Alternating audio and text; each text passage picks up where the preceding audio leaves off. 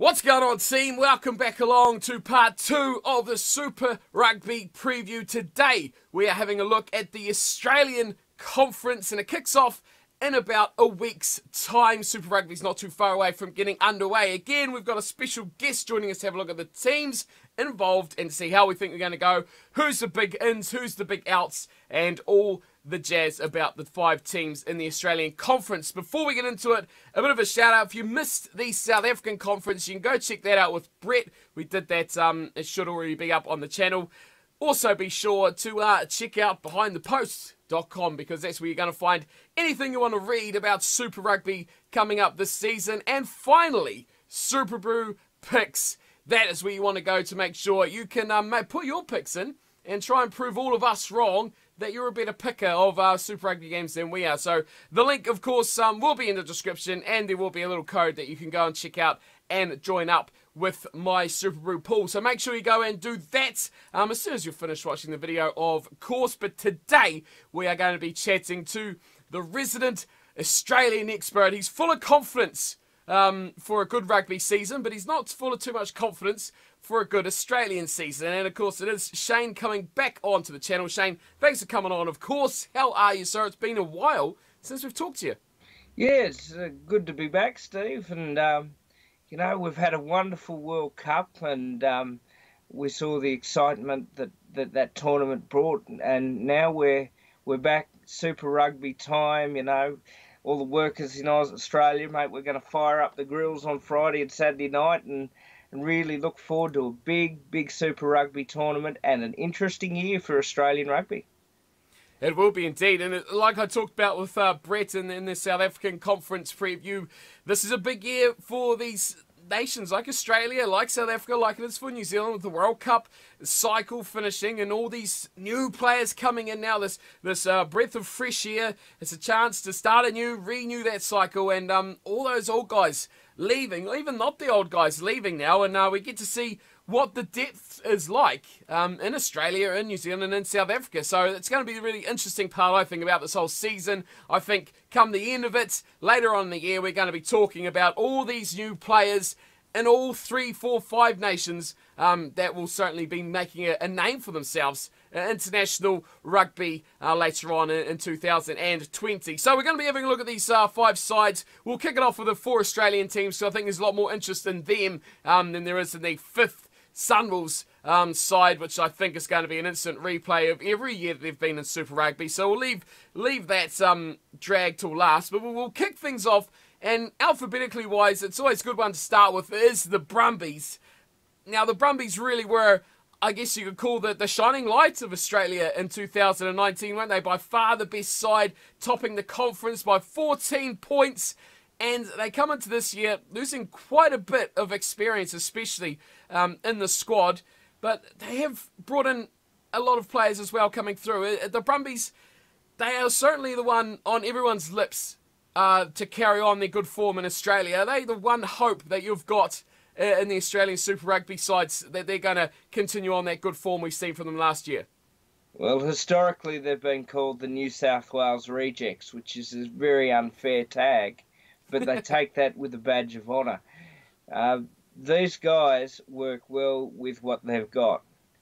And, mate, it's almost like, um, you know, it's they they fight for every scrap.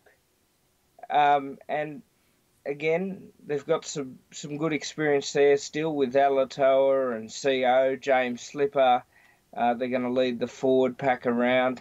Um, the young bloke, um, Will Miller from New South Wales, um, they, they, tell me he's got a lot of good skills, similar to Hooper.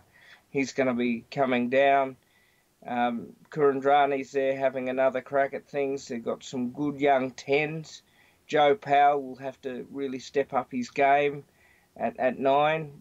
Uh, they're going to miss Christian Leali'ifano's leadership and the way he runs the team spirit. But all in all, you, there's there's a saying in Australia, and we love saying it: you underestimate the Brumbies at your peril. They are very very dangerous when they are underestimated. Yeah, I think um, more dangerous than a koala up a up a gum tree when you're trying to chase him for the eucalyptus leaves.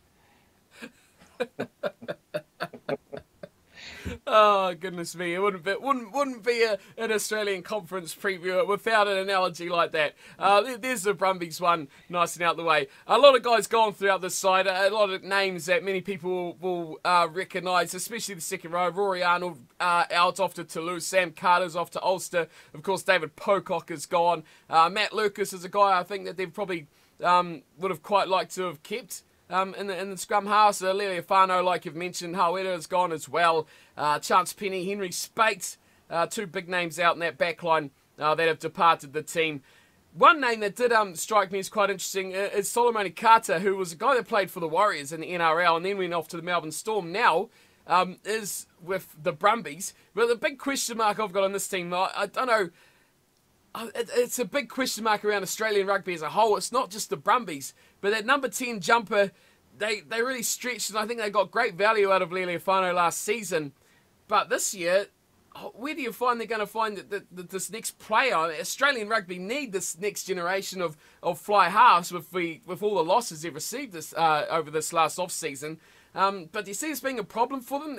really, no experience there at all of anyone who can run the cutter at ten. But that I think is the exciting part, Steve. I think that all these young blokes now are going to have to step up and be a part of the system and say, "This is me." Um, you know, people didn't perhaps rate, say, Stephen Larkham and, until he um, really got and made that position his own at the Brumbies. Um, so you know the success stories that come out of that that club in particular is because they give blokes a go. And if you give blokes a go and a chance, then you just don't know what they might achieve. Now, in in some cases, we can be proven wrong and say, oh, you know, I thought he was the next big thing or not. Just let them go out and play their game. I feel, and that's that's the exciting part. Plenty of experience with Joe Fat Powell, who's got over 50 Super Rugby caps and, and a few Wallabies jumpers. So, um, you know, they'll be they'll have that and, and Kuridrani, um, Tom Banks, uh, Tom Wright. So, so there's there's plenty to work with in that back line if the, the right person steps up at ten. Yeah, I, I do like the look of, of what the Brumbies have as probably their first choice team. Like you talked about, their front row is very good. It's so much experience here of Ellen Thomas, Sio, uh, Slipper, to mention just a few, um, and, and Ioane is another guy who actually featured a bit for them last season and, and seemed to actually play quite well um, there. Uh, Murray Douglas probably one of the few with a bit of experience in that second row. I think their back row again, good. Guys, you mentioned Cusack, uh, Miller, Samu is still there, uh, McCaffrey plenty of guys that have been there for a, a, number of seasons now, and I think it's much like we talked about with uh, Brett yesterday on the um, South African conference, is that uh, that the core of that team has stayed the same. It's just the depth that has kind of expanded. They've got rid of some guys who were nearing the end. They've got more talent coming in for the future, and I think it's a good way to rotate where these guys are going to just work their way into the team as opposed to just being thrust straight out there um, into a lot of pressure in, in most of those positions. So they look in a good spot I, I do think um, plenty of guys um, that can definitely take the pressure off. And I'm looking at uh, Simone as a guy in that centres position who is going to be the most helpful to whoever takes that number 10 jumper uh, for the Brumbies because he's a guy that can ease off pressure and can cover that uh, first receiver position quite a lot. He's got a good kicking game um, and he plays like a 10, but he generally wears that 12. So he's going to be a guy I think it's need to get that pressure off those young guys in the number 10 jumper and take some of that on himself, being the experienced guy in that back line. But I do like the look of that starting 15 that they'll put out. So I think they will be a very dangerous side again. Do you think that they can top the pool? Are you picking them to go number one again in Australia? Yes, I am. And that's nice and simple. That um, that is because I can see what the Brumbies do. I've seen it before. Look at 2017 and people will argue, oh, they only won six games, and that's good enough to top Australia's conference back back then. But they got a bonus point out of every other game virtually that they played. Um, they're, they're a side that chips away, chips away, chips away in the old Aussie way. Um, get out the shearers, um, Clippers, mate, and start shearing. That's that's the sort of team the Brumbies are, and it's you know, it's like a horror movie sometimes for the other Australian sides, but it's a dangerous horse that you find um, in that uh, creepy room. So look out for the Brumbies. I think they'll top the conference. Yeah, I think this start's going to be equally important as well. And they start at home against the Reds, um, and then they take on the Rebels. So it's two Australian derbies to, to start this season. And if they can pick up those early wins against division rivals, ultimately, uh, that could make their season, you know, the start they need. And they'll, I think, fire on from there. A bit of early confidence uh, is all that team needs, and they will certainly be hard to stop. Following that, though, they've got a couple of New Zealand sides um, after that. So an okay start. I think an important start, uh, definitely for the Brumbies side. We'll move on from them and go to a team that's probably should be delivering a bit more um, than they have promised over the last couple of years. It is the Melbourne Rebels again, and a number of changes. I mean, those those glory days that were promised under the old firm of Will Genia and Quade Cooper last season. I mean, that's long gone now. Now they've got to look forward, um, and they can't keep looking back at, at what was of those two guys there. Uh, I think the big loss here for this Rebels team is one man of Jack Maddocks, who has left to the Waratahs. That is a guy of genuine quality that will be around in an Australian jumper for a long time, don't you think? Absolutely. I think Jack's a very talented young man, and he can, you know, the skills he's got to offer. And um, off he goes to New South Wales just before the season starts. Well, I've seen a lot of high profile players go to New South Wales, and well, um, but but a good, genuinely good luck to the young fella. He'll be right. Um, but yeah, you can't afford to lose some of your your roster that far, that close to a Super mm. Rugby season, mate. The, this side, to me, when they play well, they play really well. And then at the end of the seasons, they choke. I mean, uh, you know, what are they having at the end of the season? Peanuts and they choke. you know, you almost have to go out and rescue them by thumping them three times on the back. Uh, every one of them. And this is such a critical year. Dave Wessels has has had two chances now with reasonably very good Wallaby style rosters and failed to deliver the conference win both times.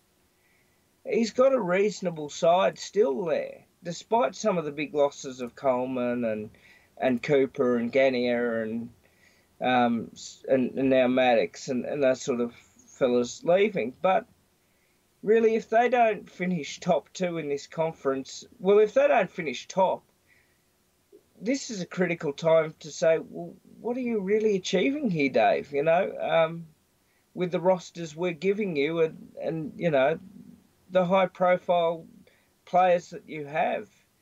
Um, yeah, so, but I'm, I'm nonetheless excited to see, you know, uh, Frank Lomani, who's going to take over Genia's role in in that nine. Um, you know, Luke Jones is a workaholic around the park. Uh, you know, they've still got DHP at fullback, who's I think a reasonable fullback. You know, and he's been serviceable for the Wallabies over the last few years. So it's all sets up to be a very interesting season for the Rebels.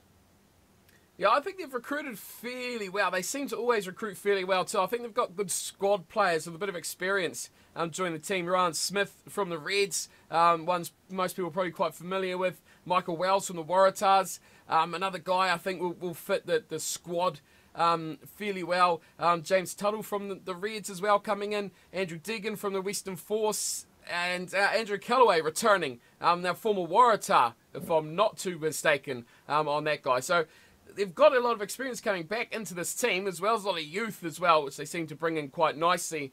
Um, overall, again, a strong team in that starting 15 when you look at it by Australian standards. But like you say, come the end of that season, come crunch games, come important times, they just can't seem to get that job done. Um, and they need to find guys that are going to really step up and lead this team from the front. Matt To'omua is a guy I think is going to have a huge amount of pressure on him um, to get this team and lead this team around. But I think they've got the best or the best possible start they could wish for because they start away, which isn't great, but against the Sunwolves. Um, so this is a great opportunity here for the Rebels to really stamp their mark on this season, isn't it? And thrash these Rebels, then go and play the Brumbies, high on confidence, and try to get that initial upset because if they get one over a team like the Brumbies very early, confidence as well as that mental fortitude they could gain from that would be huge for this season, wouldn't it? It would. It would. Um, but but then again, they've, they've started with probably three Australian Conference derbies in a row the last couple of years, and then finished against the New Zealand sides where they mm. where they've really choked. Um, and mate, it's like being in the Central Australian outback. You hope you don't see a Western Brown and you're a bush rat. but that's how bad it is for the rebels. The bush rat has to um, make sure he's quick. Um, you know, again, we get to that Waratahs fixture. They've led in so many of those those games, and they've choked. Mm. You know, I've always mentioned it's it's it's the Bart, Homer, chainsaw, and hockey mask incidents all the time with them. Um, they've got to learn to finish games properly. Um, and maybe that's conditioning, maybe that's tactics, maybe they start to go to sleep. Um, you know, sleep time's midnight, two and a half hours after the game, and you've done your recovery. not not not halfway through a through a rugby match, you know. So those are the things with the rebels. I still think that they're in in my opinion, Steve, I reckon they'll finish second again. They'll be the bridesmaid, not the bride. It's it's really yeah, I just think they lack something that's that they've continued to lack over seasons past. That is uh, probably not going to see them play finals again unless two Australian sides make it. Yeah, I mean it's it's a million dollar question, is it? How how they fix that? Is it is it coaching? Is it this complacency of the players, or what is it that the problem is? But they need to find some solution. I mean, there's always a weakness somewhere. They do have. Well, the last round they played the Reds. Um, that's going to be interesting, but I mean they do play the Chiefs in the penultimate round, and before that um, they are taking on. I've lost in the Brumbies at home, so a, a tough finish and an important finish as well. That could obviously, like you say, be the difference between them finishing well and finishing poorly, like we have seen in, in recent years. So the Port Rebels, I'm now I've always in the past been a, a pretty big supporter of the Rebels and often predicted them to do quite well. This year, they probably will because I'm going to pre- predict them to finish in third um, because I've got a bit of a bolter. Uh, which I mean, considering we've already talked about two of the teams, you can probably half guess who it's going to be coming up. But the Rebels, for me, going into third position, now with the Brumbies obviously in number one. So we'll move on to the next side, which is the Queensland Reds. Now, Mr. Big Bad Brad Thorn still at the helm. And I don't know what you make of this team here, uh, Shane, but I think he's done a really good job of who he's brought through this team and who he's recruited in to join the Reds this season. Well, James O'Connor's back, um, and we've um, hopefully managed to keep him nice and grounded um, on the aircraft to Brisbane. Um, so he might not have to come. Um, but uh, he'll be there. It's good to see him. I'm really looking forward to seeing Henry Speight run down the mm-hmm. sidelines of Suncorp Stadium. Um, I'm actually hoping to go and see a Reds game this year as well. So good stuff. Um, Samu Kerevi's obviously going to be missed. His season was outstanding at Super Rugby level last year. I don't think anyone's denying that at all. Um, I think, you know, they've got some very good forwards. Um, you know, Liam Wright and Rodda and Tongan Thor, um, Taniela Tupou, um, Brendan Paenga-Amosa. Um, Caleb Timu is going to be another loss. Um, he, he did quite well over the last couple of seasons. But if I could state, um, Brad Thorn does bring the best out of the young fellas, and I think the young fellas are um, heeding that call. Six wins for me for the last two seasons, as well as them being very competitive in just about every game last year, is not a bad thing for the Reds. And I think that a lot of Reds fans have been a little critical of Thorn, I think, but I think that overall, the Reds haven't been too bad, and I don't think they'll be too bad this year either. I think this is a a useful list, and um, you know, obviously, the lads are like any team have to go out there and play, but if they go out and play with their potential and be competitive, then they're every chance of picking up a win here and a, win there and restore continuing that pride in the jumper that I've certainly seen over the last couple of years. Yeah, as what you've talked about already, it's the youth I think in the side because they've got all these guys that are actually making a name for themselves, I guess. Um, like the Isaac Roddas and guys like him, they're especially up there, and they're now good Super Rugby players, and they're still so young. Uh, and so many more of them coming through, and these guys are going to be around for a long, long time. They, they're going on to internationals now, and they're still here. It's not like they're coming in and they're just grabbing the 33 year olds. Like, sure, there's a couple of them, but ultimately their team is based around that sort of thing, which thing is really, really good. Um, and it, it, builds a good future for the team, and they can build on that. They're just going to get better and better.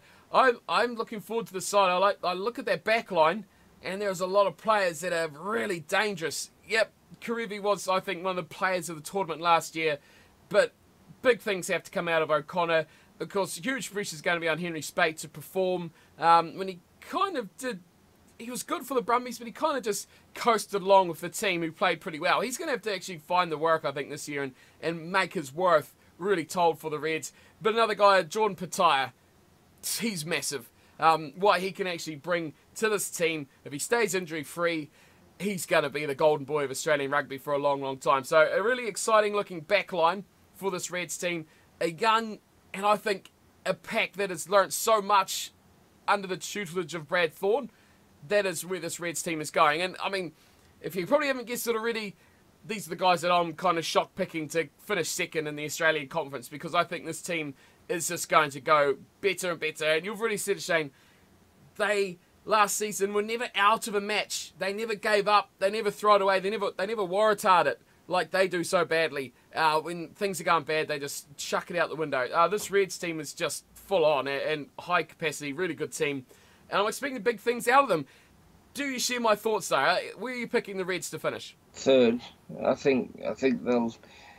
I think that it'll be a, a three-way race for third, third and fourth. But I think I think they'll do enough to finish third, and yeah, just just scrap in there. Um, and that's what I like from from the Reds. Can I make one observation, Steve? I think that even though players like um, Tate McDermott certainly came out of the woodwork last year and had a really good season, and Kerevi. Mm-hmm. Um, I know Brad Thorn's a big fan of Fords Heavy, where someone like myself, um, who's heavy, um, is a fan of backslide. uh, you know, I like to see some more backline entertainment um, this year from, from the Reds. One of the good reasons were, was they were so competitive is you've got to have good forwards. So if those good forwards can keep up the job, but the backs can really put on a, a real show as well, uh, you know, I'm gonna we're going to enjoy some good rugby, some good scrapping rugby from the Reds. They'll be right. I, I, agree. Yep, I think they're going to be a team that's going to be one to watch because um, they're going to get that platform. I think from that pack, they're going to get the the go forward ball. They're going to be nicely in action, and if they can get some continuity through these guys who are explosive, I mean, the more we see of guys like Moses Sorovi as well, another one who's electric, McDermott you talked about, he's really sharp, um, and, and, again another young uh, fly half as well, Carter Gordon, um, which is around 19, 20 years old, so he's going to be potentially another uh, big shining light for Australian rugby, which they need more in that number 10 jumper. Uh, so I'm expecting big things from the Reds. I, I was impressed and disappointed with them all at the same time last season.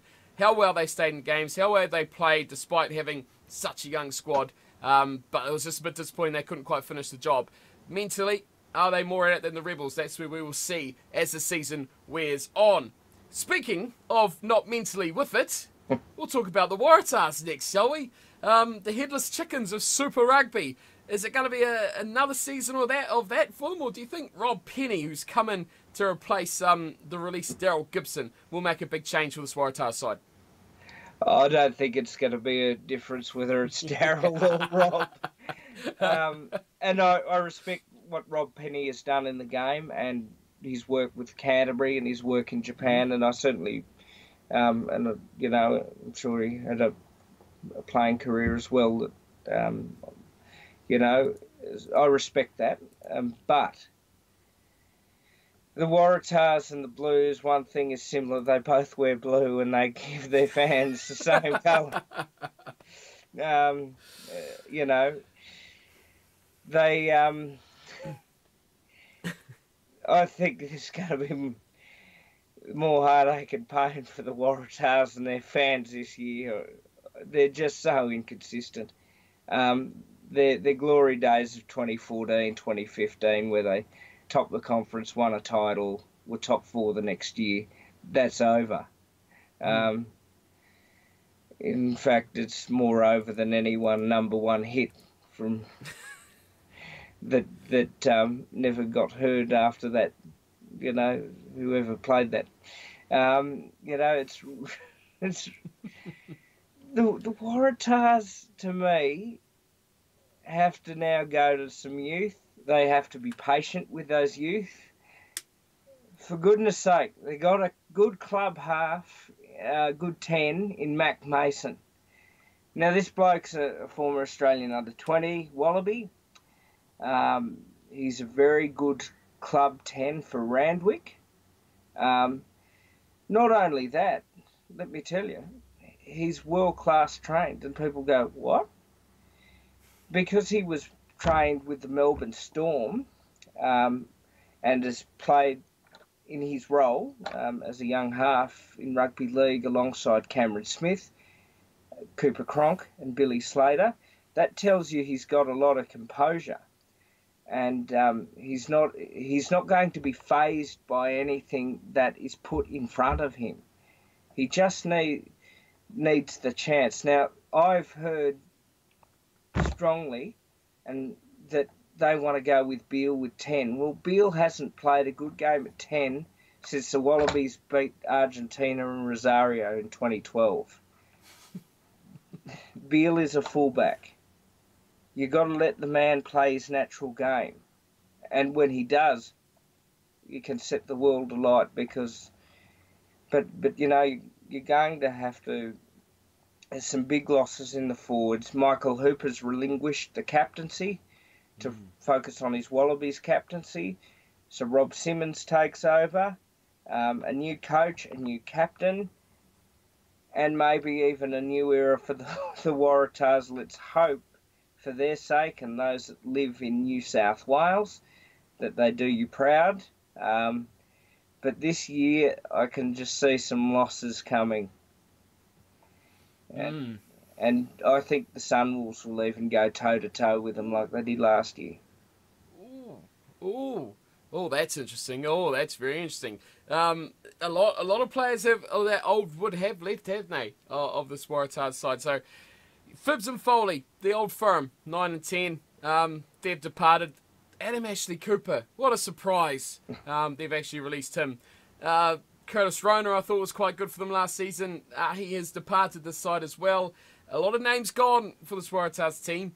Uh, hopefully, hopefully uh, they do have a bit more continuity. Um, I think that well, we're going to see if the problem was with this team was the as blamed Daryl Gibson or whether it is this group of players. Uh, we're going to quickly find out as well of this team what they're made out of.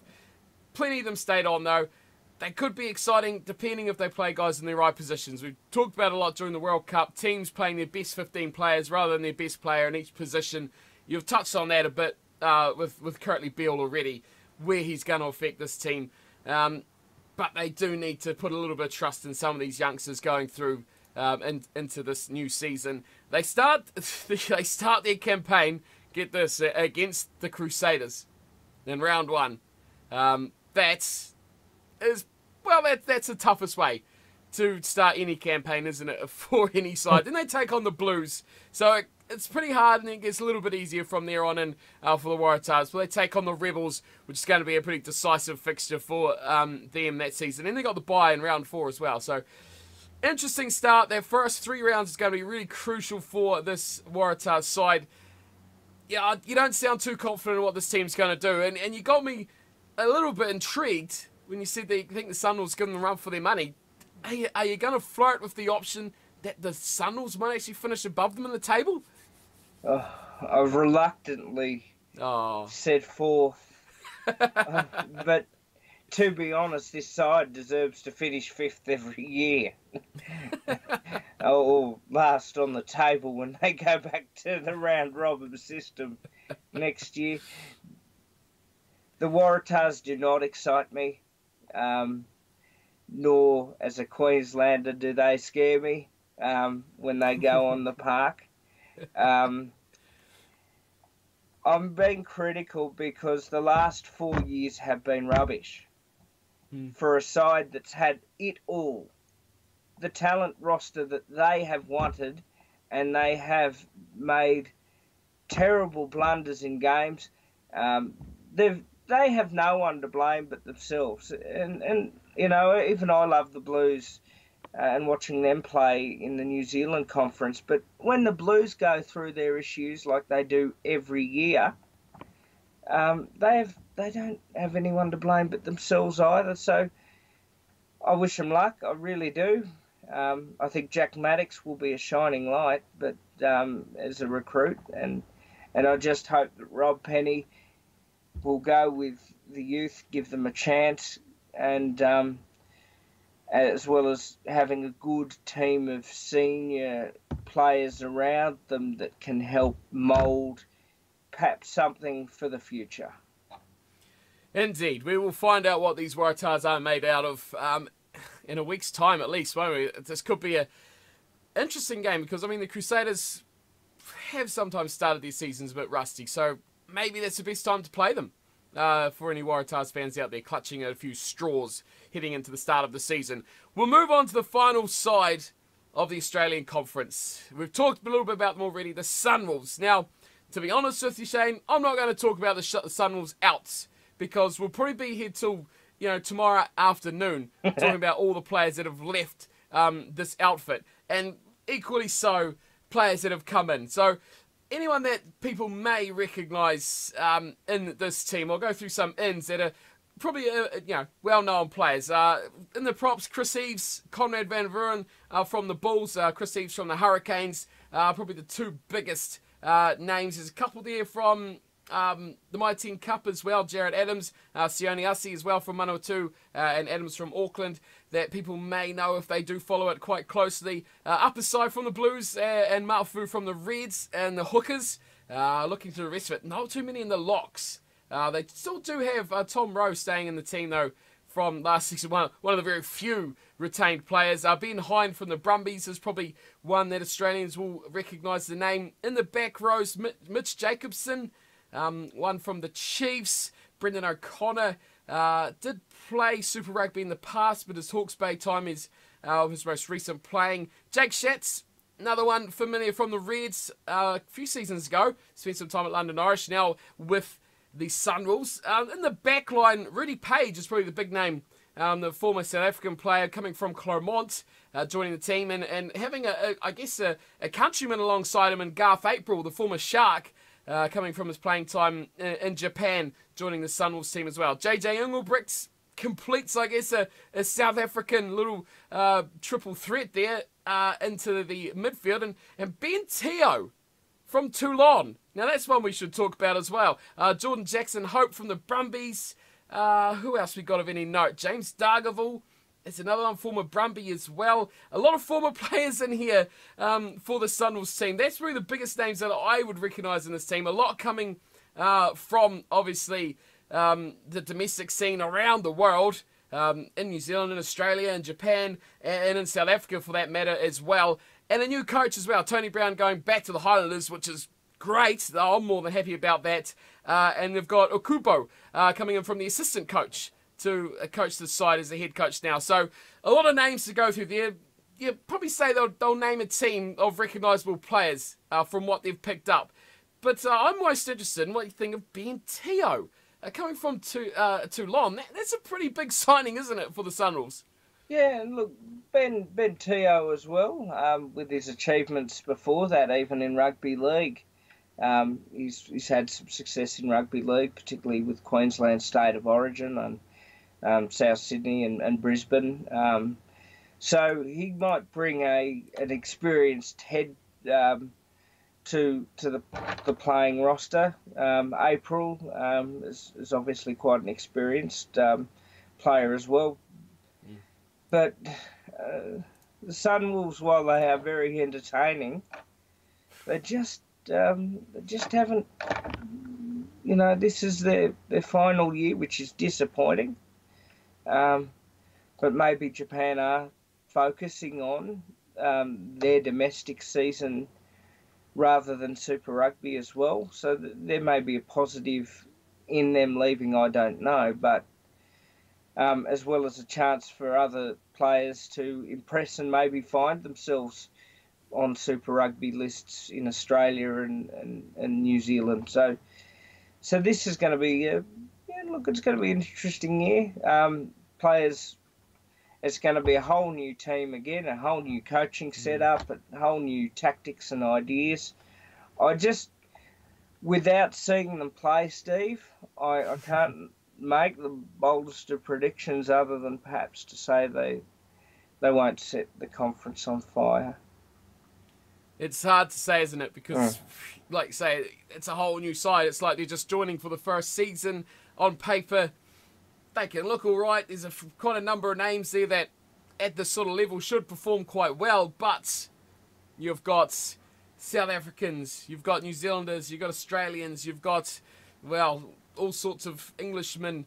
Um, you've got all sorts going on in that team, and of course the local players, the Japanese players in there that will be scattered um, throughout as well. The ones that actually do get allowed to play there. So it's a really multicultural sort of thing. I put the way they played last season down to Tony Brown. The way he coaches is something I think they're going to miss. That exciting, um, risk-taking, expansive sort of rugby. That, that's that's Tony Brown, and that's his play style. And I think hopefully we should see that from the, the Highlanders this season instead, a bit more um, than, than, than the Sunwolves. I think may go maybe back to a more sort of generalised style um, this season without knowing really what, what they're going to change or what they're going to bring. A different team. I think Garth April's going to be a bit more of a, uh, a, a kicking sort of uh, 10. His running game with the Sharks was probably a bit limited when he played in Super Rugby. So what he's going to bring to the side is going to be a bit different. But there's a bit of continuity there. I think 9 and 10 um, and into that midfield as well. So could be a little bit of something happening there if they do hit their straps on that way. It's it's hard. It is hard. It's very difficult to know what these guys are going to bring in. It, it's kind of sad. It's going to be their last season. But I think what's sadder is that they don't fill this team with Japanese internationals. Like, why isn't 90% of that World Cup squad playing in the Sunwolves, just like the Jaguares do um, with the Argentinian internet, uh, national side as well? So that's what kind of disappoints me the most about the Sunwolves and, and the opportunity that's they've kind of worked towards. I don't think they've taken it as well as they could. So it's all disappointing for me with the Sunwolves a bit. Um, last season, they were good. They were exciting. They were fun to watch. Do you have anything else you want to add about the Sunwolves? Because it's a bit of a, a blind stab in the dark, isn't it? Yeah, look, um, I don't know what more I, I, could add because I'd, I'd like to see how they'd go in the first few games. And a good test will be next Saturday afternoon against the Rebels. So, you mm-hmm. know, after the barbecued lunch and a few solos, and we, we get into it and watch some rugby. Um, you know, I agree with you. I, I wish a lot of the Japan um, side was playing for this Sunwolf side. Um, because the way the Japanese played in the Rugby World Cup was for me one of the stories of the Rugby World Cup and how yeah. magnificent it was to see them make the quarterfinals. I'd hate for a backward step to be taken now. I hope that Tony Brown actually does a bit more work with with Japan um, as well as the Highlanders. But um, you know, it's going to be um, it's going to be interesting. You've summed it up. You've summed it up brilliant there. Uh, yeah, their season season could be tough. I mean, the best chance for them is when they're at home uh, in Japan. They get a huge crowd. Uh, they love it. Uh, they enjoy the occasion. They love the game. And I mean, we've seen it with their domestic competition as well. Just um, how fantastic that supporters. I mean, this is just um, their domestic game, and it, it, it's packed. It's just absolutely packed, and they've got all the superstars uh, playing there as well. Just quality, quality teams um, throughout that competition. So, you know, what could have been, I guess, the Super Rugby's loss is um, Japan's game domestically. So that's the way they want to go. We will see how that plays out for them in the in the future, but hopefully it doesn't affect, like say, their national side. So, um, predictably picking them to finish fifth. I presume we're doing the same. Yes. Yep, nice and simple, nice and easy. So that that's really Australia in a nutshell. Um, kind of a bit of a downer way to finish it with the old Sunwolves, isn't it? It's a bit of a disappointing way to go, but it's going to be an interesting season. I think surely Australia have to be better than they were last year. Uh, they've got to improve. They've got to really step it up another gear and, and become contenders this season, like everyone else has. Um, Australia. Are you looking forward to the season, Shane? You're looking forward to a bit more positivity overall for, for Australia leading into the Wallabies internationally? You think they're going to collectively unearth some few gems? Uh, with with the Wallabies, I still have my concerns, um, as I do every year um, for you know for the last probably four years after the, the, the 2015 and let's face it 2015 was quite a successful year for the Wallabies winning the rugby championship and finishing runners up in the, in the World Cup. Um, with I've got to say a team that a lot of that came from Ewen McKenzie and Cheika was lucky to have done so well at the Tahs and was was ready by then. Um, you know, as much as I respect Michael Cheika's contribution in the game, it was time to move on, and he knew that. He probably knew that a year earlier. um, you know, but I wish him well in, in France where he'll, he'll be coaching, and he's a good club coach, and he'll, he'll get the best out of his troops there. But I'm not so convinced with Dave Rennie yet. Um, He's come out of the Scotland system that, um, and and you know, Scotland didn't even make the quarters um, of the, the Rugby World Cup, and and but you know, I think that we need to take some wise counsel from from senior states people in Australian rugby and, and say this is the areas we need to fix, and fitness is one of them. Um, finishing off games is another, and as well as our, our, the way we play rugby, we can't keep playing the 91 92 style of that the Wallabies were so successful with anymore.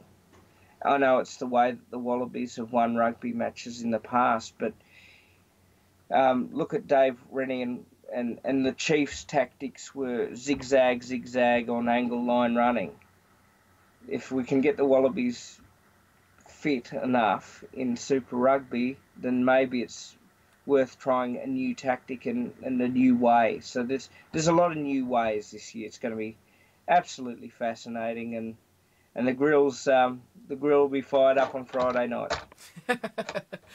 uh, looking forward to it. Uh, as always, Shane, thanks so much for coming on and giving your thoughts on your dearest Australian uh, players and teams. Um, we'll put your Twitter uh, handle under your um, little square over there if anyone wants to get in touch with you. But anything else you want to add um, before we wrap up for the Australian conference?